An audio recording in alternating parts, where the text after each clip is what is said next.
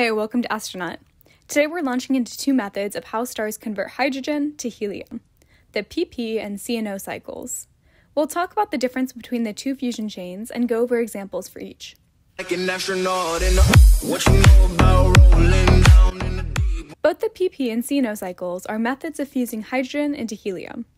The proton proton PP chain reaction is applicable to low and medium mass stars, including our Sun, so let's start here. Because most stars are low mass stars, the PP reaction is the most popular method of fusing hydrogen into helium. It all starts when two protons come together to form deuterium, aka heavy hydrogen. Now, 99.8% of the time, a positron, which is short for a positive electron, and a neutrino will also be ejected in this process. Every once in a while, however, an electron will enter as a reactant with the two protons, yielding only deuterium and the neutrino as end products. I say this primarily for specificity for anyone who's curious, but this happens less than 1% of the time and is not a particularly important fact, so don't worry about memorizing the precise inputs and outputs. The main idea here is really that our reaction starts with two protons.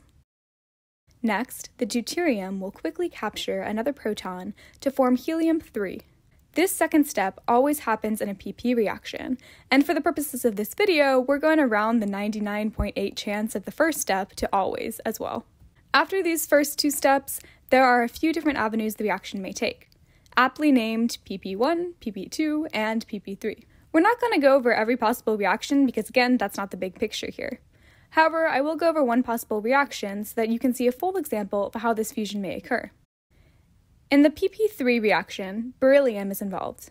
This process yields a significant amount of energy in the form of gamma rays. Finally, two helium atoms will form. So, what about more massive stars?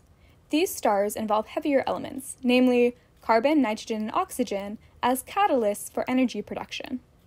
Based on the elements involved, you can probably guess which fusion process is applicable for more massive stars.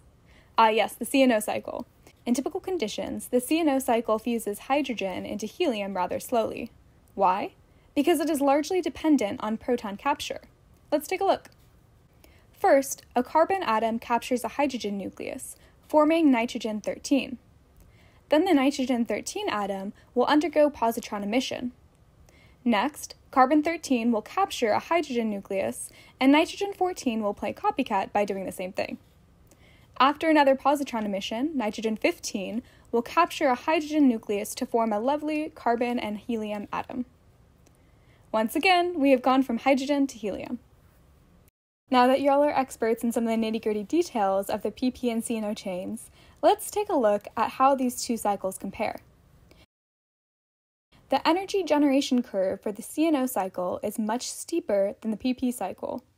From this, we can see that the CNO cycle is more energy efficient at higher temperatures, while the Sun, with a measly core temperature of around 15 million Kelvin, depends on the PP chain.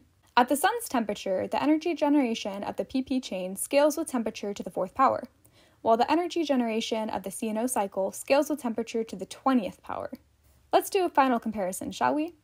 The CNO cycle is applicable for stars above about 1.5 solar masses, while the PP chain applies to lower mass stars. As the name implies, the CNO cycle also involves the catalysts carbon, nitrogen, and oxygen, in that order. Another interesting note is that the CNO cycle has to overcome the effects of the strong nuclear force on the Coulomb barrier, which is only applicable at high temperatures. The PP chain, on the other hand, is dependent on the weak force. Well, that's all for today. Thanks for watching, and as always, ponder, wander, and go right in the ocean, like what you know about rolling down.